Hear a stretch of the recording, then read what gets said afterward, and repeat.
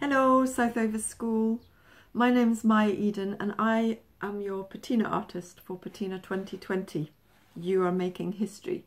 We are making history. And you really are going to make history this year because you will be the one and only year, I hope, that will be a patina in a pandemic, patina in a lockdown.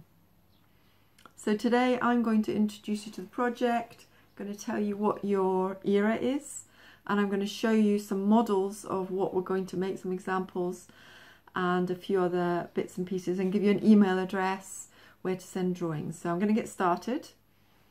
Um, hopefully you've seen the presentation now, which is very funny. I enjoyed watching that last night. And when I come normally come into the school and do a brainstorm with you, we have uh, an envelope or something to reveal your era. So I'm going to do that now but we always do a drum roll. So let's get started.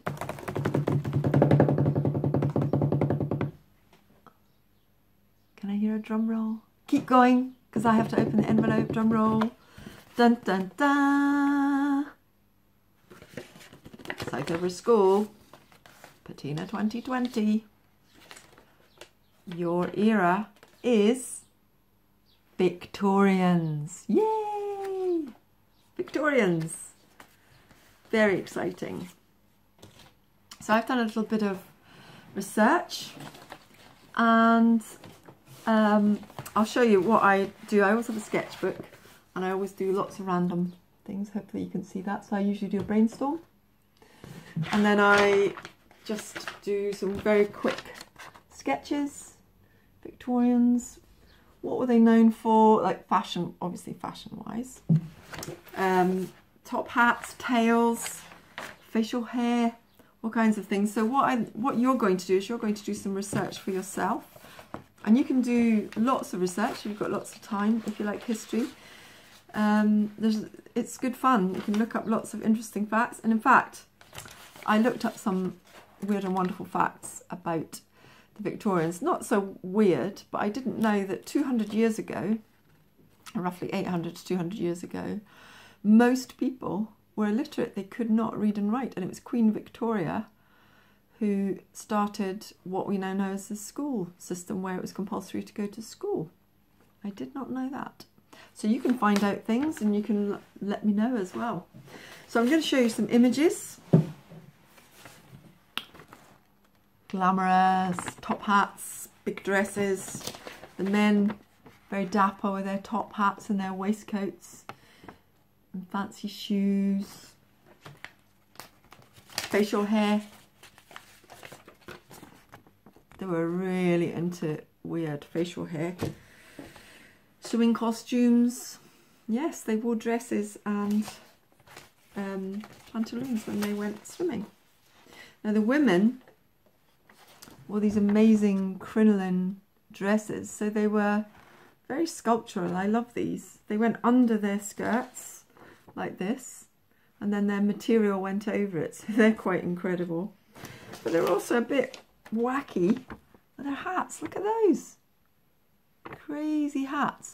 So what I'm going to ask you to do is I'm going to ask you to send me some drawings. But first, I want to show you what you're going to be making. Bum, bum, bum.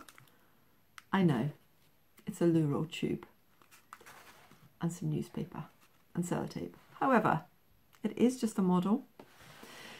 And I wanted to show you this for the size. This is the sort of size of something we're making. We're calling them avatars. And with these, we're going to make a video of all the... So we're going to have a virtual parade. 2020 virtual avatar parade. And they will be dressed in your era. Obviously, these are just models. They're just the basis to show you the scale and the sort of things that we're going to do. But I'm going to do another video in two weeks, I think it is, where I'll show you how to make them and how to dress them in your era. So that's the sort of size. So start collecting the old tubes. That's a cane from the garden. All that kind of thing. So you need to send me your drawings. Now, when I normally come in to the school, we're thinking withies. So we're thinking big.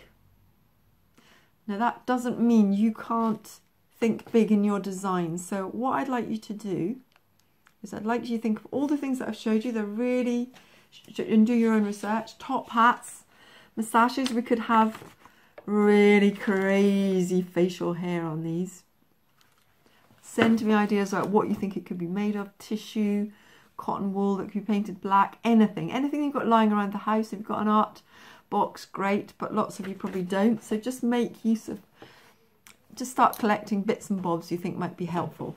So what you can do is get a sheet of A4 paper and maybe draw four or five stick figures side by side and then just get some ideas, print off some if you've got a printer, if you don't, just look on the internet or in books and just draw and exaggerate, exaggerate the top hat, exaggerate their facial hair. That's what we do when we're when we normally make them out of willow. So we can do the same thing with the puppets. And then we're going to have an exhibition of the puppets. And, um, oh yes, I could tell you the email to send the, the drawings to. So you've got pen and paper, Southover School. Yours is patina2020, southover at gmail.com. That's patina, P-A-T-I-N-A, 2020 southover at gmail.com. And I look forward to seeing your drawings in the next, I think it's in the next two weeks. I'll look at them all and I'll design costumes for our funny little avatar puppets, which are going to be brilliant. I might put strings on that so his legs go up and down. Good luck, have fun with it, and I look forward to seeing your drawings. Bye!